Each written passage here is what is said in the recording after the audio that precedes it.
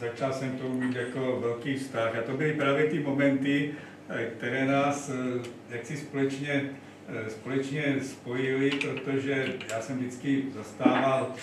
zastával názor, že slovo dělá chlapa, když něco domluví a jde o dobrou věc, tak by to mělo také, také dopadnout.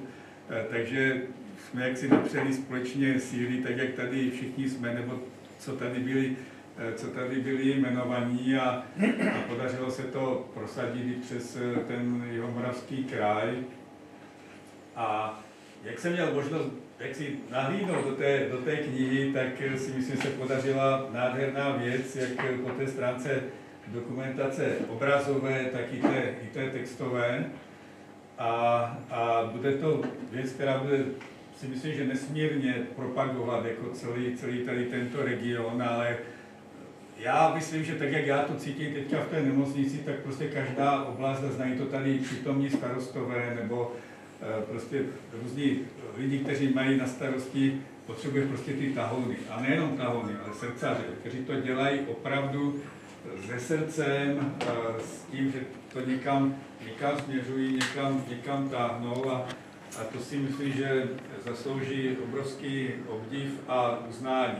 A proto jsme se potom ještě domluvili na tom dalším, eh, dalším projektu, to znamená i těch, i těch krojů, který jsou rád, že taky, taky dopadly, když třeba někteří možná eh, tak si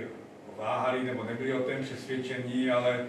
ale já říkám, my jsme byli odhodlaní Gorku i za hejtmanek, kdyby, kdyby prostě, kdyby prostě eh, jako cokoliv, takže to se musí protlačit a já jsem jenom rád, že to dopadlo a, a já věřím, že tak, jak jsme se zatím některýma nesetkali, s některýma už se, se potkal, takže se budeme tady setkávat dál a,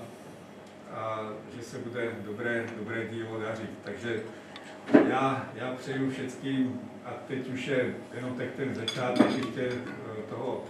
té doby vánoční pořád běží ještě ten advent, tak možná jenom na závěr, ještě všichni prožijeme pěkně ten advent, ty, ty Vánoce. Eh, já ne, nemám rád takové ty velké, eh, jako ty komerční různé zábavy, naopak spíš tady je ta atmosféra, jak má být a, a že se uvidíme i na tom příštím a na těch dalších. Tak ještě jednou pěkný večer a děkuji.